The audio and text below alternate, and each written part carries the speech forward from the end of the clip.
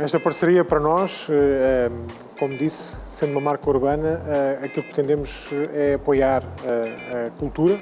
e, portanto, esta parceria com o Will Studio, com o Iminente e com o Underdogs. Queremos reforçar a nossa presença como marca institucionalmente, a forma como as pessoas olham para a Mini como a marca que apoia a cultura urbana,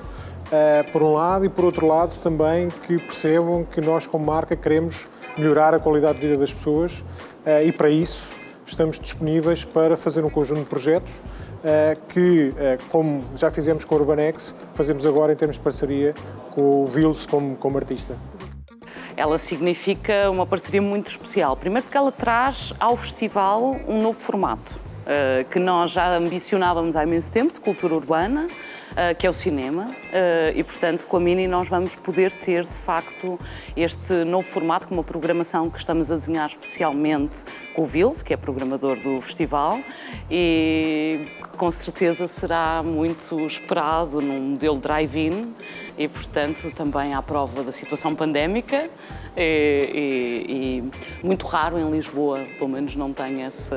essa ideia de ter acontecido muitas vezes este formato em Lisboa com uma programação dedicada à cultura urbana. A Mini é disso que nasce, é do momento disruptivo, eminentemente urbano e, portanto, o filme cria sempre dinâmica, eh, ajuda a passar uma mensagem uh, forte, uh, com, digamos, nos curto espaço de tempo percebemos um conjunto de coisas e, nomeadamente, aquilo que queremos fazer aqui é passar a mensagem que os valores Mini e os valores da, daquilo, das entidades que estão connosco nesta parceria são muito, muito próximos. Estamos perto da arte, estamos perto da moda, Uh, também já estivemos perto da música, só em Portugal, para falar, dar, estou-me a lembrar de exemplos em Portugal, e portanto a mim tem essa, tem essa característica. Uh, tem sido uma marca muito polivalente em termos da abordagem cultural que tem feito.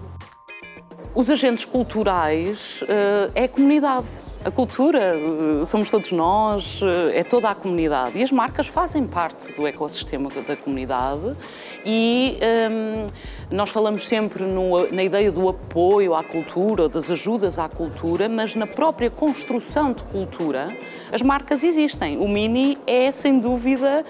um objeto até de construção cultural e de uma ideia uh, uh, de, de cidade, de espaço urbano, etc., que todos nós temos no nosso imaginário e isso não é outra coisa senão cultura.